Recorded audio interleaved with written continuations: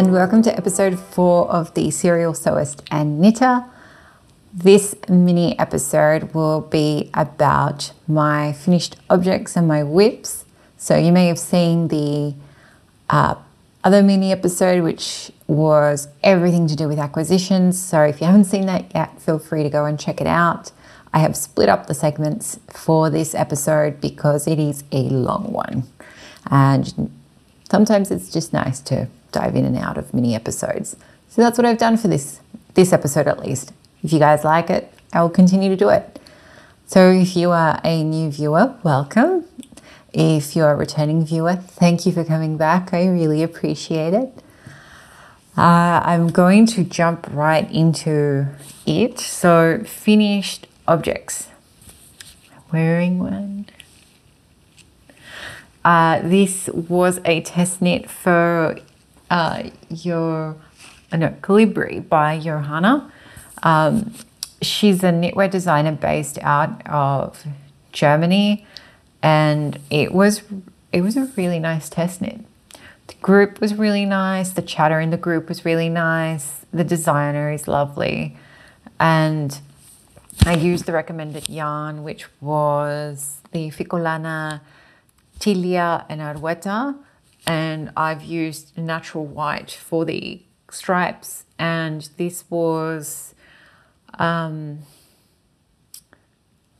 I want to say like a creme brulee held with a light truffle because it's mohair held with fingering. And same for the contrast. So it's it's you're working you're working the pattern holding the yarn double.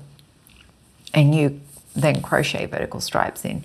It is a really nice pattern. It blocked really well. So when I finished, when this came off the needles, it was quite cropped, like quite cropped, like above belly button.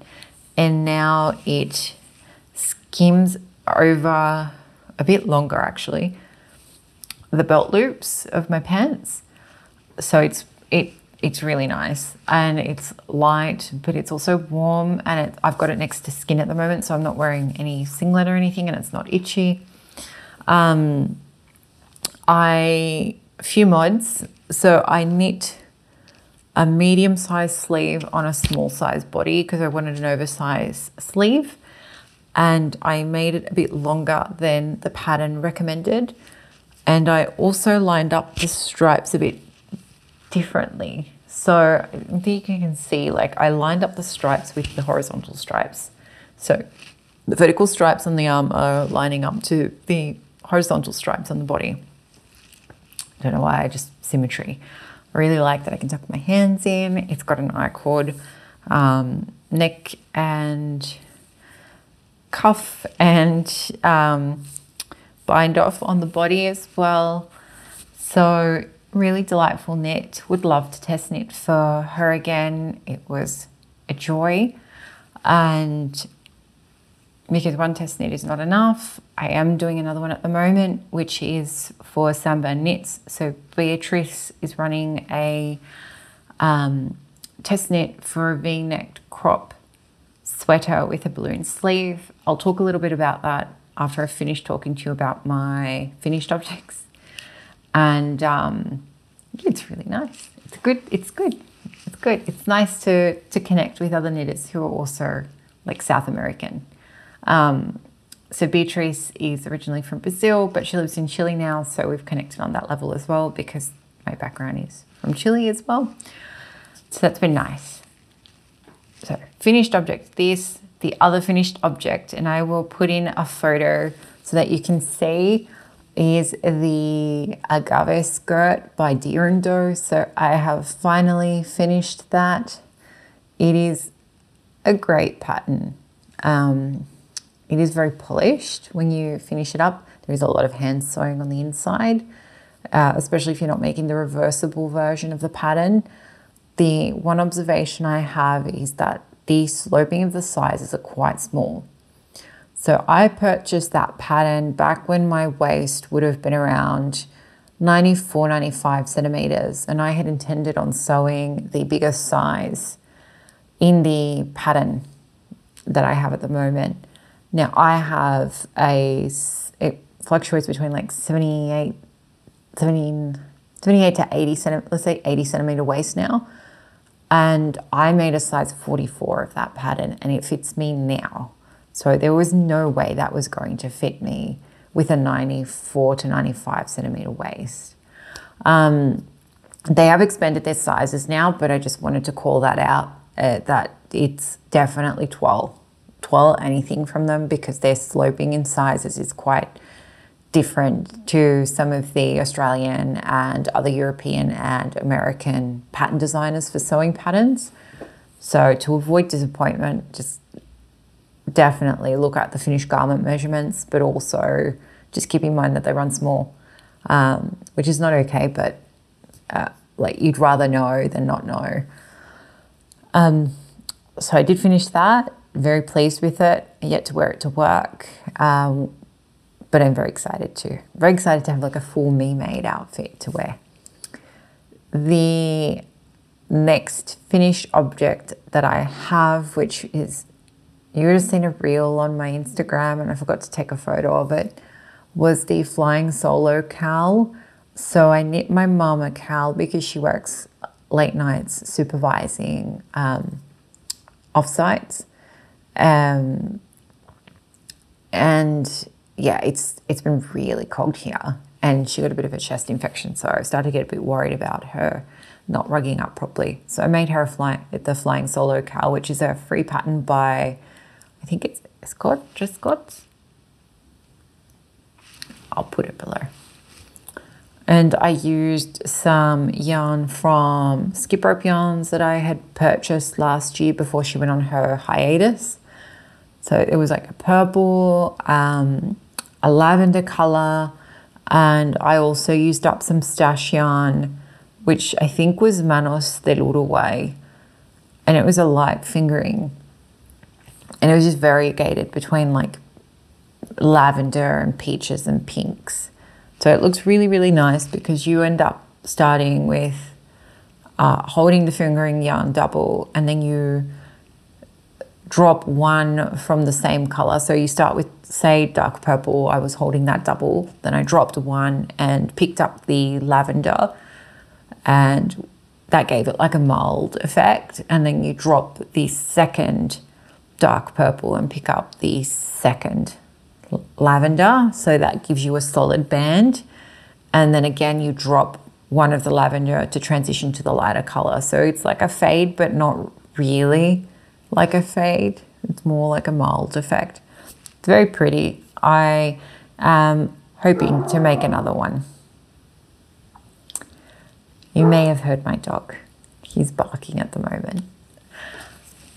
So those are my finished objects. I had a finished object which has now become a work in progress again. I'm just picking it up now. So this vanilla raglan in brushed fleece has become the bane of my existence. I finished this this week. I blocked it. And when my partner tried it on, the body was perfect, the length was great, it was just what he wanted. The feel against the skin was great. And then when he showed me the sleeves after blocking, it was like, like they were no hands, they were gone. And I had, you know, I had run out of yarn and I had gotten the wrong brushed fleece from like a couple of years ago. So it was produced a couple of years ago. And then the new batch that I got felt a bit thinner and different. So I was worried about that. And as I was knitting, I could see that like it was less dense. Point is, I ended up finishing it, blocking it, and then completely ripping the arms back and starting again. So you can see that one. I have stitches on hold here and I am on this sleeve. So a few things that I didn't disclose on Instagram, which I'm going to talk about here, is owning your mistakes. so what I mean by owning your mistakes is when you make a decision about your knitting, you have to be accountable. And this, the decision that I made with this was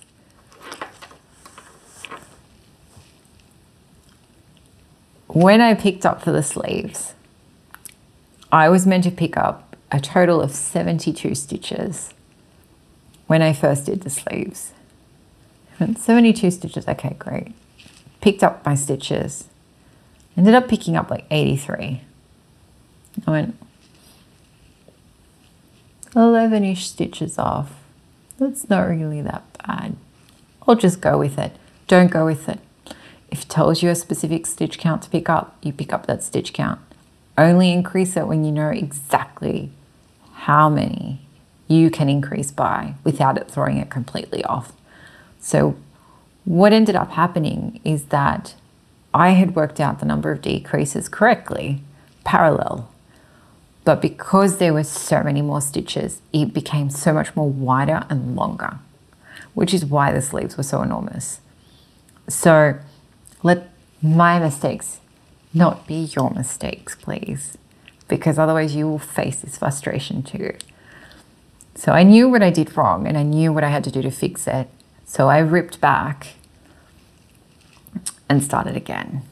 And now this time I'm also going to just knit the sleeves in the new batch of the Rowan brushed fleece and not use the old batch so that at the very least the body is in the old production batch but the sleeves will be even in the new batch, which is kind of like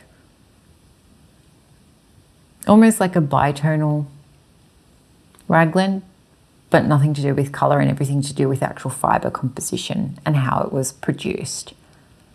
So this is my work in progress at the moment. When I get frustrated with it, I switch to my test knit.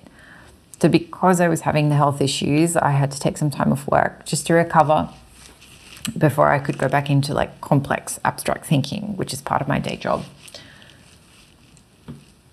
Which meant I could cast on for my test knit for Beatriz. Um, I'm not going to show the pattern because it's not public knowledge yet and it's still being tested. But I do have like the hashtag on my grid and I've shown photos of the WIP because we're allowed to share photos of it on social media. So there's nothing wrong with me showing you what it's looking like now. Um, but I'm not going to flash the photo of the image because then it can be a surprise. So it is coming along really nicely. I did a lot of knitting, surprisingly, a lot of knitting while you know, recovering from surgery. Um, more so here at home. In hospital, you just want to sleep, really. Sleep and watch YouTubes. So here is how this is going. You can see the v-neck. The thing that I really love about this pattern is that you have the option of bust darts. I don't know if you can see them, but it's really, really nice to have a nice bust dart. So there's meant to be negative ease on this, which it does have. I have tried it on and it sits really nicely.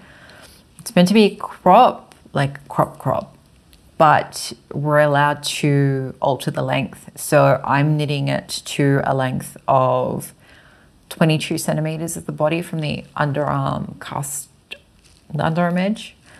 And then there's going to be like four centimeters of ribbing. I am contemplating doing like a longer ribbing and maybe playing with that proportion a little bit so that it's a bit cinched in at the waist, given that it's going to have like semi balloon sleeves, but we'll see. The wool I am loving. It is a non superwash wool um, in the colorway Wombat. Why am I loving it? Because I'm totally biased. Because it is going to be one of the colors are going to be included in the upcoming release for the Moodle, Moody Neutrals for my Shop Colorways Collective. So this is the colorway Wombat that was dyed especially for the shop by Knit or Dye. And it is the only superwash, she's the only super, non-superwash dyer um, that I was able to get for this collection this time around. And so I'm really, really pleased with this. It is really nice and soft to knit with. Um, and it's a good kind of toothy. So what I mean by that is I, if I've missed a stitch or dropped a stitch, it actually hasn't slid through the whole project. Uh, it just stays put, so I can just pick it back up again. So I'm very excited to have like a non-superwash um, jumper, and I'm really, really, really happy that I've been able to to just support another Aussie dyer in that way. And yeah, I like the color. I've been looking for a color like this for ages, and they're not easy to find.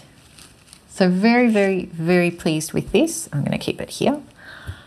Test knit is coming along nicely. I think the deadline might be around August. August. Let's say August. So I have time. I and I wanted to get as far along as I could for it. So that's good. Just moving some stuff around. The other thing that I've still got going, so I've shown you before, last time I showed you my Gresham wrap, that hasn't really advanced much since the last time.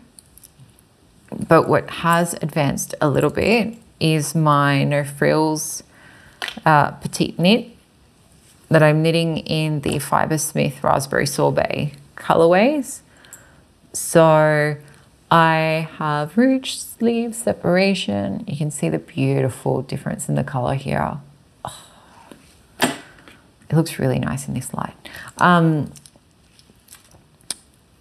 so this is going really well. I have the body to do, so every now and then I'll switch between the three projects, but I really need to finish Nick's jumper, my partner's jumper. So these are my WIPs. This is what's getting the most love at the moment. Uh, I still have my sock that I need to finish. I still have the Gresham wrap that I need to finish. And I've got a few FOs there, no, not FOs, UFOs, which are just not getting any attention at the moment. And it's not because I don't love them, it's because I love these more right now. The other WIP that I have, and I mean like cut out ready to sew, is the Milton Peppermint Dress. It is a free pattern by Peppermint Magazine. Um, look up the hashtag on Instagram. So if you're vaguely curious about sewing, it is a it's a really easy construction that looks incredibly polished.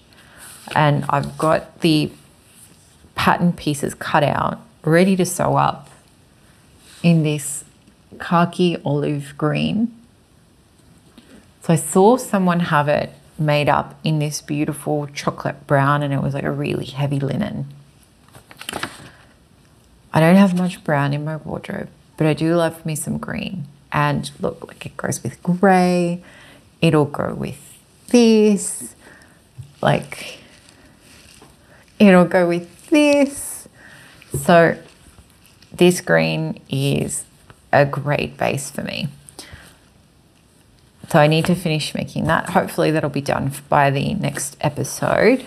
I try and take my time with my sewing patterns lately rather than rush them.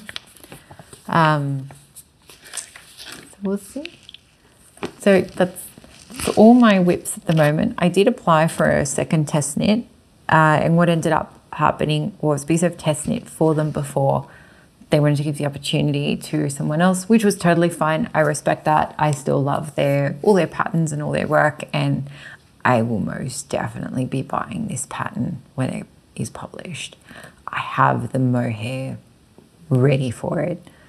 Um, yeah, it's going to be a good one. So, if you're like vaguely interested in the test knit and who I'm talking about, I would suggest following along with Creabea. Cray Bayer is doing the test knit for Rose, which is this beautiful wrap cardigan. Um, so I know I'm vicariously going to be living through that test knit and like watching the release date for the pattern like a hawk because it just it's really really like dainty and delicate and feminine. And it's the perfect thing to have ready for, for spring, really. Um, so that is all my finished objects, work in progress. I have a couple of planned projects. So aside from the peppermint pinafore, in terms of sewing, I forgot to mention. I also finished a pair of Avalon pants like the night before I had to go to hospital. Um, great pattern. They're by Tessuti. Sew up really quickly. Incredibly comfortable pair of pants, and they don't look like you're wearing trackies at all. They've been cut like a wide leg. Um, it's a, like a high waisted wide leg, but it skims along the side of your body straight down. So it almost looks like a tailored pant, but you're wearing trackies. You're legitimately wearing trackies. The only downfall is that it doesn't have pockets because there's no side seam on the pants. They, they run on the inside. So you you could probably hack it and put like a it was like a patch pocket on the front if you wanted to. They're very, very, very comfortable. Highly recommend the pattern. And I think it's goes up to size 18 or 20. I'm pretty sure it goes up to size 18 or 20. Um, but you could always adjust the width of the elastic that you put in the waistband because you're cutting them so wide if you needed a bit more room. So always keep that in mind with elasticated waistband pants. Planned projects. I've mentioned the Louvre sweater in my acquisitions video vaguely when I was talking about this color. This is still very much something that I want to make. Ideally, before winter is out, we shall see. Because I have unspun staring at me now that is waiting to be whipped up into something like a tulip. So, the tulip sweater is something that I definitely want to make in unspun. I have leftover mohair from uh, Ficolana from this test knit, but this is a bit too dark for it. So if I paired it with this white, this white, it might give it too much of a mold effect. So I have some lighter unspun making its way to me from Julia from Wool and Twine, which I might see how that looks. I'll do a little swatch and then try and knit up a tulip sweater in the unspun as the pattern was intended. Um, I did mention vaguely that I want to make myself a flying solo cowl. I have wool that will. Have more wool that I bought this week from Chloe from Woolen Works, of course. That will be making its way to me as well. So I put I snapped up some of her like oopsie skeins for the I think it was the Kingfisher the Kingfisher bird colorway that she's released because it looked really cool and really grungy. And so instead of getting it in fingering weight, I've gotten it in like DK weight. So I don't need to hold the yarn double. I can just knit it up in one go, basically. So I'm very keen to, to give that a go and see how that looks. And in terms of other planned projects, I have been flirting with the idea of like a textured sweater. Not necessarily a love note uh, by Tican Knits, but maybe I've got the Magnolia Bloom pattern, I've got the White Horse pattern as well. Um, I really want to knit up something by Sari Nordlund. I guess I'm just a bit bit of a scaredy cat when it comes to those complex yokes, but I really want one. So I'm just going to have to like bite the bullet essentially and just give it a go. But the same with the color work. So we'll see. Um, I'm just thinking about whether or not I've got anything else that I've got planned. I've been flirting with the idea of making my niece a dress but I feel like if I commit to it, I might change my mind. So I don't know. I think I like the idea of making her a dress because, like tiny human knitwear, comes together so quickly, like so quickly. You have no idea. And it's one of my favorite things to, to make because it comes together so quickly. So, anyway, thank you for hearing me rant and ramble about my finished objects, my finished object that became a WIP again, it's time traveled, my other WIPs, my test knits, my planned projects so far. I really appreciate you sticking around to, to have a listen to what I've got in the works. If there's anything here that you've got questions about, feel free to let me know. I'm always happy to answer questions on Instagram or in the comments. And yeah, I can answer them as best I can, even if they're sewing related. I'm always happy to have a chat. Um,